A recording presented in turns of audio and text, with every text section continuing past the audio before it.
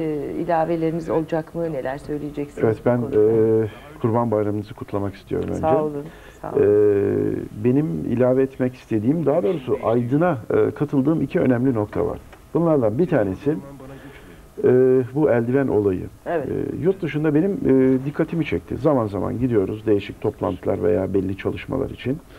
E, kasaplar eldiven kullanıyorlar. Evet. Yani kasaplar dükkanlarında eti parçalarken veya servis yaparken eldiven kullanıyorlar. Evet. Yani Şimdi bu- eldivenin bunlar- eldivenin e, kullanılan bıçağa olan hakimiyeti kaybettirmesi söz konusu değil. Yani e, önce söylendi biz bununla son derece hassas ameliyatlar yapıyoruz.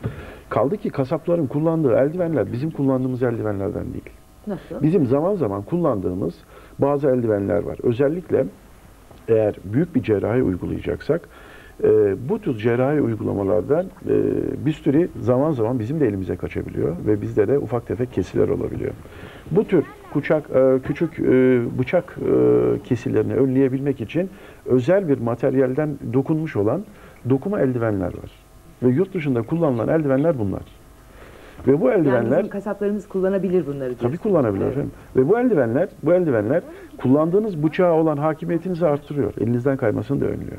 Ve Hmm. kesin olarak, kesin olarak ben e, dikkatle gözledim. Hakikaten eldiven kullanılıyor yurt dışında. Ve bu gerçekten hijyene, e, Oğuz Evet. hocamızın söylediği gibi hijyene olan e, Evet. önemi de e, burada vurgulamak Gerçi gerekiyor. e, tek tük de olsa görüyoruz artık bizim de e, hocamızın dediği gibi bazı pastanelerde, bazı evet, kasap evet. e, Çok önemli gerçekten. O Evet. eldivenleri görüyoruz ve de çok hoş hakikaten. Tabii. Yani Evet. insana bir de güven duygusu da geliyor. Yani temizlik Evet, açısından. evet. Evet. E, ikinci nokta, e, benim e, dikkatimi çeken bir olay var. E, bana bugüne kadar e, Kurban Bayramı'nın ilk gününde başvuran hastaların e, bir kısmı e, kasaplar, evet. e, yani kurbanı profesyonel olarak kesen kişiler.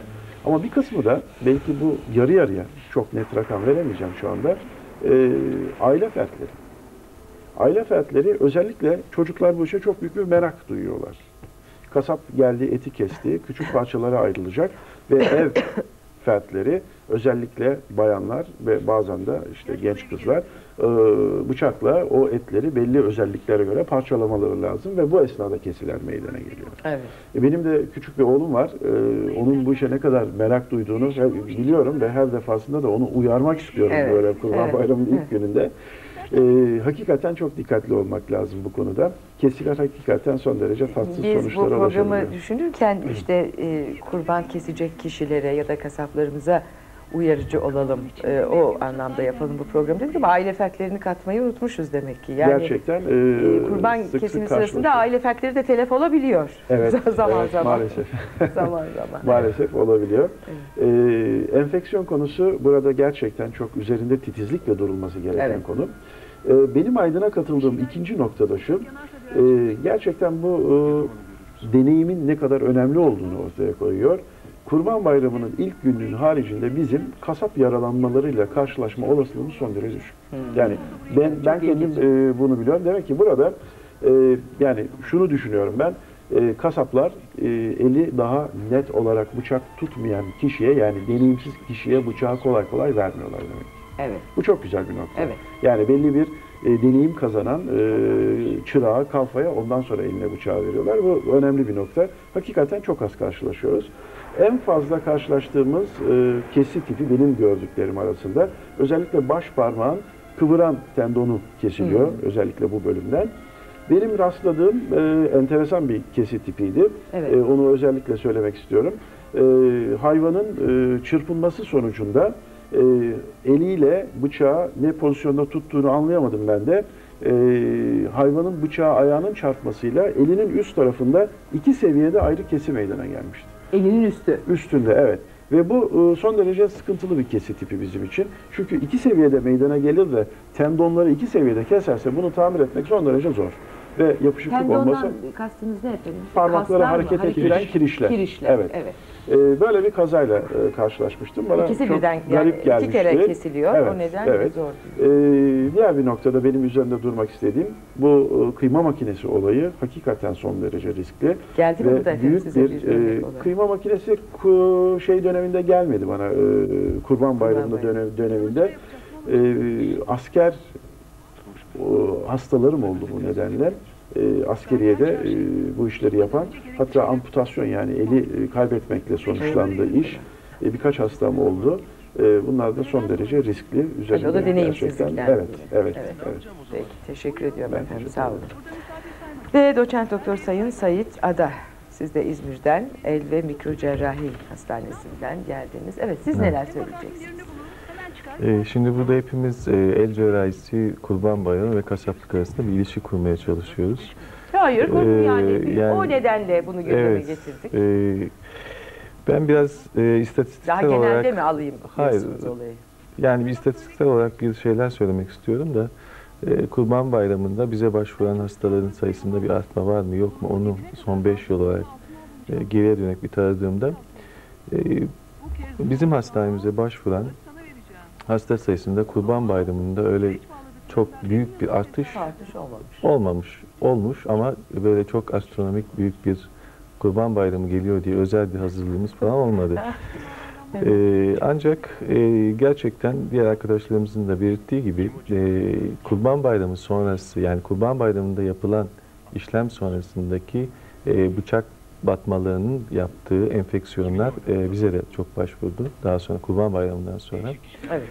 geçmeyen Ha, sonra, yaralanmalar sonra, diye. Evet. E, ayrıca özellikle ev kadınlarının e, kurbanı e, sıyırırken e, işte eti parçalarken e, bıçağa kaçınmaları sonucunda kadınların daha fazla e, yaralandığını ben e, istatistik olarak e, görüyorum Allah Allah, bunu. ilginç, evet.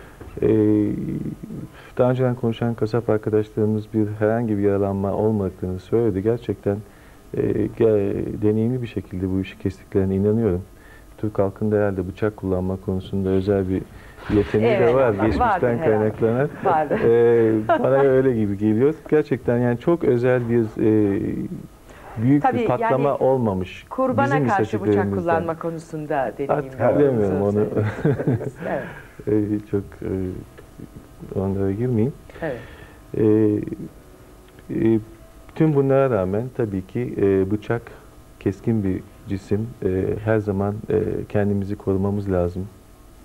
E, ve eldeki bütün e, oluşumlar son derece önemli ve elin fonksiyonları son derece önemli. Bütün bunlardan eli korumamız lazım.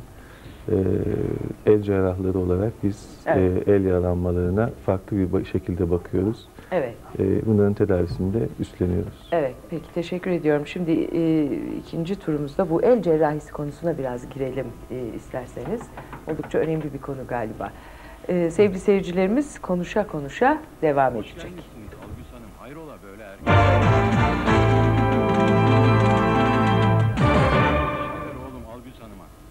Evet.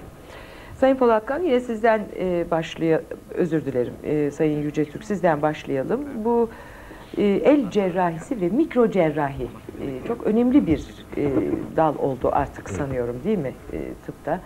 Nedir? El cerrahisinin e, özellikleri nedir? Neler yapılıyor? Bize e, şu andaki durumu nedir e, Türkiye'de?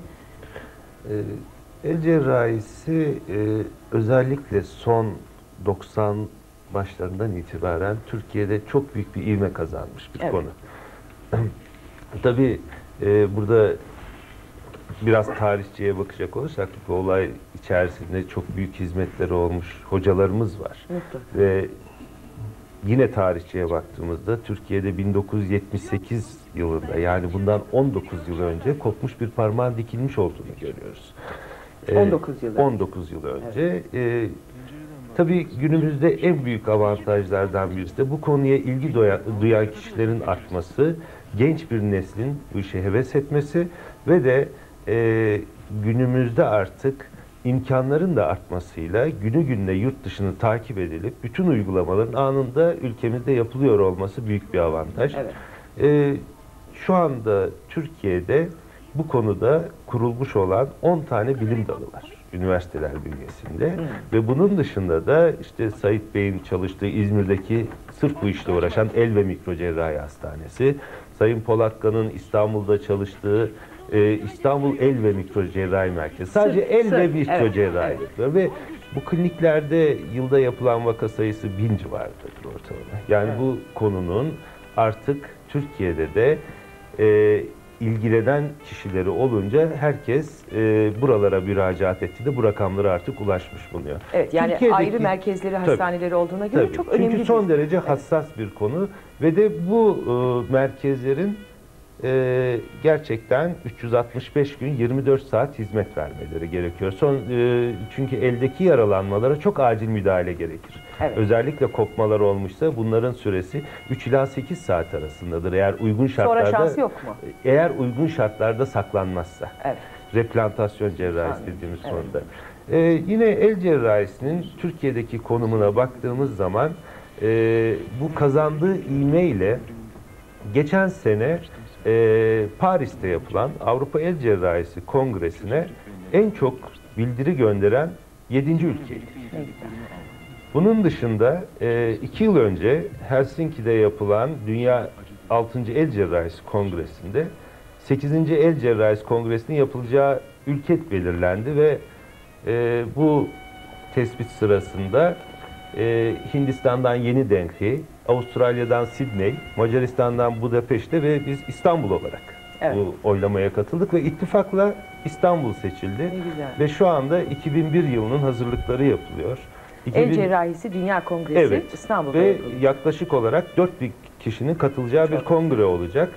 Tabii e, burada Habitat'a emeğe geçenlere de teşekkür etmek lazım. Bizim en büyük sıkıntımız bu kongre kazanıldığında e, bu kadar Ne geniş katılım Yani. olacak bir kongreyi biz nasıl düzenleyeceğiz Evet. diye biraz da tereddütümüz olmuştu ama şu anda hakikaten Habitat'ın bize sağladığı imkanlardan birisi de çok güzel bir kongre alanının Daha İstanbul'da sizin bulunması. gibi kim bilir nice bilimsel kongrelere de ev sahipliği Gayet yapacak. tabii. Çünkü siz e, bu tür kongreleri alırken e, sizin altyapınızı kontrol ediyorlar. Tabii. Bunu yapıp yapamayacağınızı kontrol edip ona göre veriyorlar.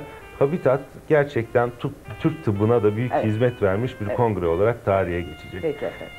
Teşekkür ediyorum. Var mıydı başka söylemek istediğiniz? Ee, ben e, son olarak şunu söylemek istiyorum.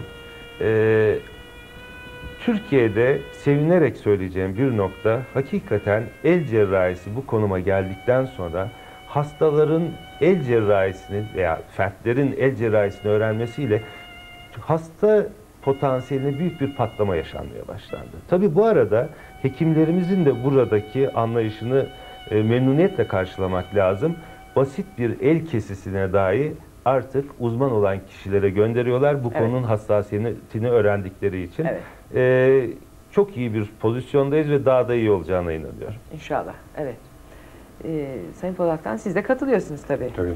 Tabii, ben bir de şunları ilave etmek istiyorum. Ee, bu merkezlerin yanında üniversitelerde şu anda e, e, ana bilim dallarına bağlı olarak biraz önce e, e, siz anons ederken de söylediniz. Bilim dalları var. El cerrahisi bilim dalları. Bu tabii e, üniversite ve ondan sonra e, bu merkezlerdeki işbirliğinin sonucunda ben şunu söylemek istiyorum.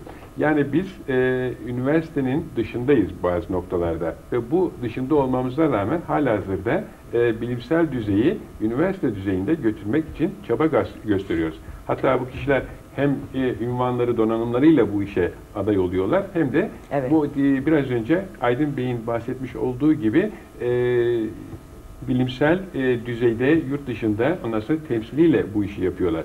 Tabii bu çok önemli bir hadise. Çünkü bugüne kadar bazı şeyler sadece tekeller içerisinde olması Olmuş. düşünüyordu ama bunun e, bazı e, dışarıdaki merkezlerde de çok güzel üst düzeyde yapılabileceğini e, göstermekte. Bir de bu e, çalışmalarda hep ekip işini biz ön gruba Evet. e, çıkıyor. Daha önce de belki bunu yineleyeceğim ama Evet. ekip çok önemli. Çok önemli. Bu e, belirli sayıdaki kişiler bir araya gelip ondan sonra bu işi götürebilirler. Aksi takdirde sizin 24 saat tempoda bir 365 gün çalışma şansınız yok. Yok. Ancak grubunuzda yeterli kişi, yeterli sayıda ondan sonra eleman ve donanım olmak suretiyle bu işler yapılabilir. Peki. Ben bunu ilave etmek istiyorum. Peki hocam e, bu mikro cerrahi konusunda biraz bilgi verir misiniz? Ben şunu e, söyleyeyim evvela, e, el ve mikro cerrahi diye geçiyor. Belki bugünün e, şartları içerisinde böyle ama mikro cerrahi e, şu anda e, el cerrahisinin bir parçası. Yani mikroskobu kullanma sanatı mikro Evet. cerrahi.